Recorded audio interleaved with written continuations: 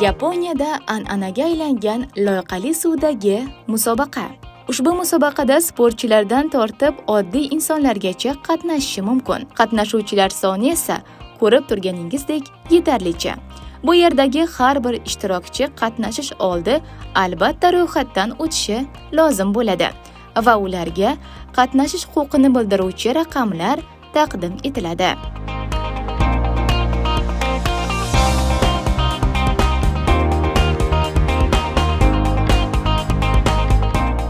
Ko'rib turganingizdek loyiqali suvdagi o'yin shartlari bir nechta bo'lib velosipedda surfing taxtasida loyiqali suvni kechib o'tish va yana boshqa ko'plab shartlar mavjud.